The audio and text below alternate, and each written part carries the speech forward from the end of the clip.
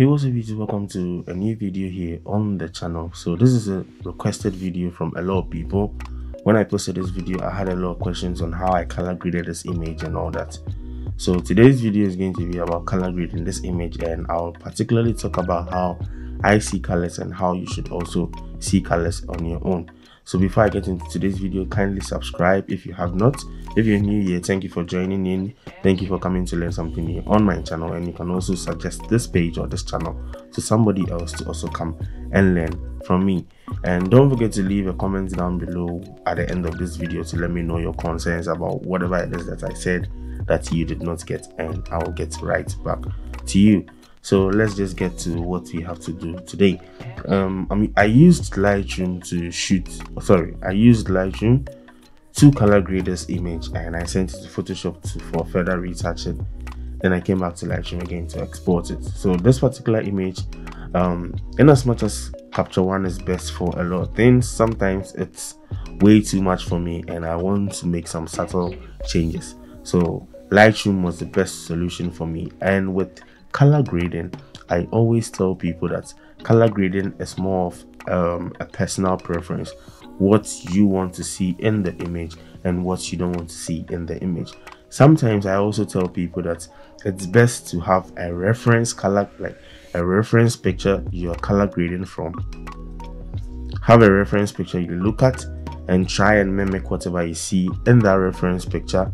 Then you end up getting colors um, looking the way you wanted them to look in the image you are color grading. And with color grading too it depends on the mood you shot the picture in. And by the mood i mean the weather conditions you shot the picture in. is it a studio picture? Is it an outdoor picture? If it's an outdoor picture was it cloudy?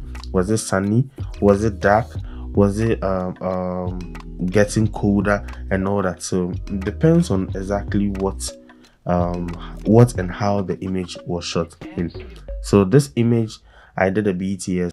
I'll leave a suggest card up here and I'll leave a link down the description below. Go check out the BTS of this video, how this image came about. So I shot this with my Canon um, 5D Mark IV. No, the Canon 6D, sorry, the Canon 6D, the 85 Sigma at 1.4 at ISO 200 f2.0 and a shutter speed of 1 over 500 so looking at this image from the left here you can see the before looks way different from what you guys saw on the page right? So this is how i perceived the colors.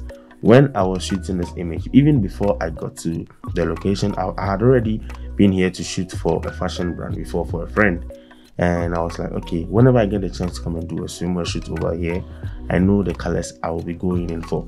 A dark, subtle toned colors with more of a cinematic grade feel to give the images I will create over here um, a very great looking cinematic grade right? So I had in mind that I was going to shoot using the sun. But unfortunately when we got to all on the day of the shoot it, it just came out cloudy all of a sudden. And i'm not saying it's bad. Cloudy conditions over well if i should say cloudy i want to put it in the right way. Overcast conditions are way best to shooting because you get a very big softbox so all the light was even and if you want to check whether an image was shot with an overcast or like natural light always check the forehead of whatever model you shot. You realize the light is spread all over rather than it being a specular light on the forehead. So when i zoomed you guys realize the image was quite blurry right the face um the sharpness is actually on the hand than the face. I i have been saying this for quite some time. No matter what you do whatever image you shoot if you think it's very great and you didn't even get it right in camera if it's blurry please keep the image and add greens to the image and it will come out very very nice. Like nobody i don't think um, before you realize it was blurry it's after i zoomed in then you realize it was blurry. So back to color grading. The greens and the yellows were like popping way too much for me right? I didn't want it to look this way. So i kept on saying to myself that okay if i should get back to post processing i'm going to add some blues into my greens make them look a little bit um, desaturated and keep my yellows into more of reddish green vibe right so I moved it from this, and because of the outfits, because of the bikini she was wearing, um, the brown bikini and the blue outfit. I don't normally like shooting blue and green together. Um, it always doesn't go well for me. But the whole point is I had more skin which was more brown and the bikini which is also brown. And with brown substances or brown colors, um, if you know your colors well, I'll advise you go learn your color theory. And by color theory, I mean the complementary colors, the analogous colors, the triad colors, and you get to see what color complements the other very well. What color is the opposite of another color, and how best you can combine the two to create beautiful coloring um, for your image. So with greens, the um, what I what I know or what I have learned so far is that when you complement um, green with brown, it works very well. So I had this idea that I wanted to change this whole looking image from the camera when I shot it to make it look like this. So let me just get into what the settings I used so that I, I will vividly show you exactly what I did, but I will advise you not to do the same thing because the weather conditions the way I shot will might be different from what you shot and you might probably end up getting something different. And maybe it will be another model with different colors. So if this was to be in white i know the colors i would have in mind right? So don't don't copy blindly. I don't mind showing you exactly what i did but i'll advise you don't copy blindly. Understand the whole color theory and try as much as possible to color grade the images the way you want them to look like, how you perceive colors. So that's the best way to explain color grading to anybody. You can't teach somebody color grading. You can let them know how they would want to perceive their colors. So I warmed the image up. So if I should reset all this, um, this is how the image looks. Let me turn off um, this is how the image looks right? Um, let me send it back to what you saw it to be. So I changed the profile from Adobe Color to Adobe Standard. I wanted to use camera standard but camera standard was too strong for me so I ended up using Adobe Standard. Then like I said um, making the image look warmer was my goal. So I increased the warmth the temperature and I added some magenta tint because the whole image is full of greens and the opposite of green is magenta. So i added some magenta to the image. Added a bit of contrast reduce the highlights increase the shadows reduce my white and increased my blacks. I didn't add blacks to the picture. I actually took out blacks from the picture. Added some clarity and i reduced my saturation.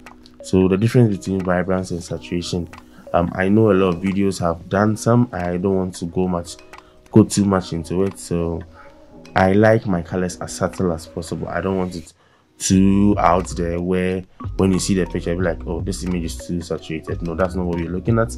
You're looking at a very subtle colored image where when you look at it you, you feel you feel you you literally feel the image. You feel the colors present in the image. No color is over the other and they all look or they all feel um, um, on the same level. So this is what I did in my basic tab.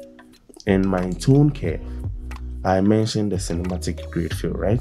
The cinematic grade fill um, always comes from this part, trying to add some fade into your shadows. This is what the cinematic grade. You're literally taking away some blacks from your shadows, basically. So if you look at the histogram, you realize that um, the graph is far away from the blacks. This is the blacks of the image and this is the whites of the image. When I took away white, now the histogram is definitely away from the whites and it's also from the blacks. And I added contrast to each and every color available in the tone curve. So in my reds, I have this contrast S curve. I have the same thing in my greens and I have the same thing in my blues. So in all, this is what the tone curve was doing in my image. Take a look at this. Taking a look at this, you realize the the image is brownish enough for me. This is even another color grade someone might pick all i will do is to add um i think a bit of yellows into my midtones or let's say a bit of yellows into my um how should i put this into my shadows rather yeah so and by using that you can use the split toning to add yellows into it. You realize that after i turned off the tone curve i have a bit of blacks in there so i can make it look differently using this alone. But this wasn't what i was going for. I was going in for this adding colors every way possible. And with color grading in, um, in lightroom you have the hsl tab which i recommend everyone to get used to right. So reducing the saturation here wasn't enough for me. I came to do quite some reducing here too. So basically this is what i did in my hue. I changed the hue of my greens and my yellows. Um some and also in my reds my oranges purple and magenta. Reduce the saturation of the greens and yellows. Well, mostly the oranges too because i wanted to tone down the saturation of the oranges in the image. Reduce the reds. The reds weren't really in the image because the image looks more brownish. And with every skin there's there are reds and yellows in the skin. And I have that available to me here as the oranges. Luminance yeah basically this is what happens. If you want to melanate your model you can reduce the luminance of the orange and bring it way down. But the only downside is you are taking away the highlights of your image. So yeah basically this is what i did in the um hsl tab or the color tab. Split toning wise i added some oranges into my shadow. And this is what's in here. So if i should turn this off you do realize the image now is in the ranges of um, green. It looks more greenish. The shadows are tinted with green. Um, the highlights green. The midtones are more brownish because of the brownish nature but i wanted to add some reds right? So you you guys realize that um i moved from step to another step to another step. So the more i move from here to there to there i realized i need to do something else. I saw this and was like no i need some color. I need some reddish color in the shadows. And after adding it it changed the whole look for me right? So this is how brownish uh, ended up being. Detail wise i normally take away my sharpness because i don't like a sharpened image in my post processing. I want it to i want the skin to feel as natural as possible. Lens correction it's always advisable to enable profile lens correction if you're using a very wide lens but i used an 85 and i don't mind enabling it. Effects like i said if your image is blurred out you can add some grains to it and it creates a whole different feel. It, it gives you the film like uh, um, view from when people used to use um, these film cameras. So that wasn't what I was going on for for this image. I didn't mind it's been blurred because I knew I could still work on it. And now to the calibration. So majority of the time people use the camera calibration to calibrate their images. if I should turn this off, this is what I have in here. If I should turn it back on, this is what I have. So you do realize it's a step-by-step uh, um, building of colors from basic to tone curve to HSL to split toning, then to color, um, um, camera calibration. So basically, this is what I did here in Lightroom to move the image from this as I shot it in camera to this in Lightroom. Then I retouched and edited it in Photoshop for me for me to be able to post it.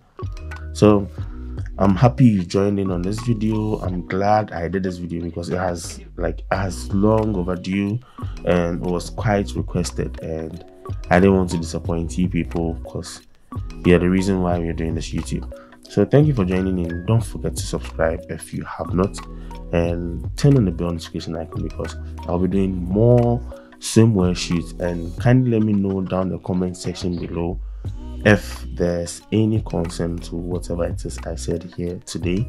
Maybe I said something wrongly, maybe I said something that you didn't get or maybe whatever it is i'm saying is blasphemy just let me know down the comment section below and i'll attend to you so i'll see you in my next youtube video. Peace